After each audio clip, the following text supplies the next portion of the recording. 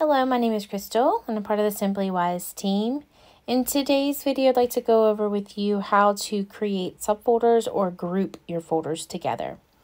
Once you get logged in and you get to your home screen or your business screen or whichever space you'd like to group your folders, you want to go ahead and navigate to uh, the folders that you want to group together. At the bottom of my screen, you'll see the last three folders titled Group, subfolder 1 and subfolder 2. So what I want to do is I want to group subfolder 1 and subfolder 2 into my group folder. Okay, so you want to press and hold the screen to activate edit mode. You'll know that edit mode is activated once the gray circles appear in the upper right hand corners of the folders. And once that is uh, that way, you want to go ahead and press and hold on the folder that you want to group and you're going to drag and drop it.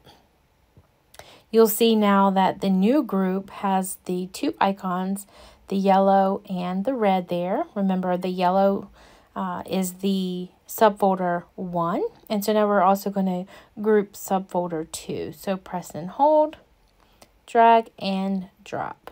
Sometimes uh, if it doesn't take, just do it again. But you can see there that all three are now together.